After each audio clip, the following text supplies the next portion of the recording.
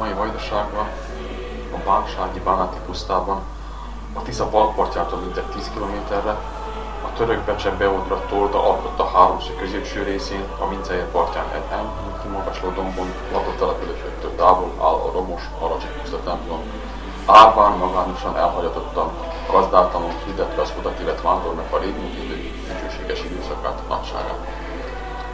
Csonka tornya, romos falai messzire látszanak a síkvidéken, hatalmas méretei kiemelkednek a táj fölé, melynek titokzatos kinézése lenyűgöző látvány nyújt az arra járóknak.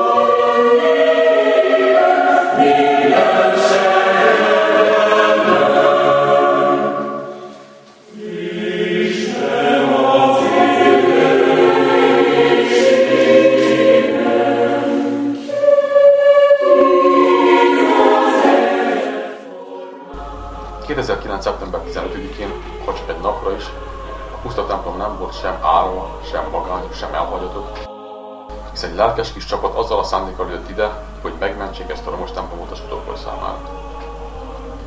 Biacsi Karolina, a Magyar Képzőművészeti Egyetem kőszobrász restaurátor szakának negyedéves hallgatója, Bóna István mester, a restaurátor tanszék professzora és Rafael Endre művészettörténész kíséretében mintavételre jött az alacsony templomhoz.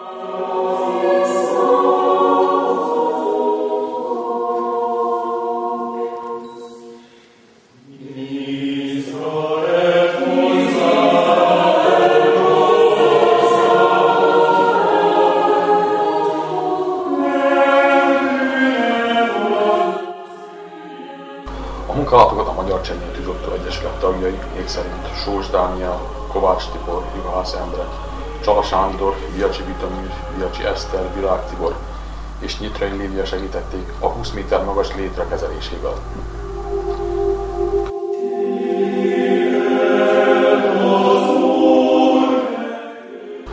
A mintavételi munkálatokat megtekintette az Újvidéki Műemlékvédelmi Központból az Aracsonyomok területi felügyelője Svetlana Bakics építészmérnök és munkatársa Szává Strázsmesterov, akik a 6 méteres állványzatot biztosították a csapat részére.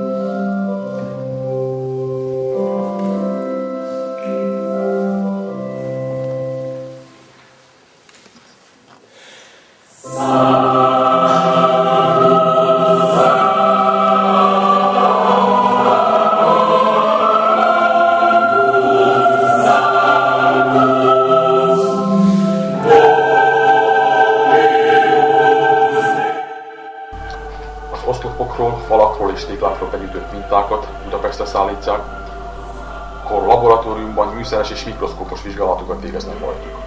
A vizsgálatok arra a fontos tényre is engednek majd következtetni, hogy milyen anyagokat lehetne használni, illetve milyen eljárásokat lehetne alkalmazni, amivel megakadályozhatnánk a templom állapotának további romlását.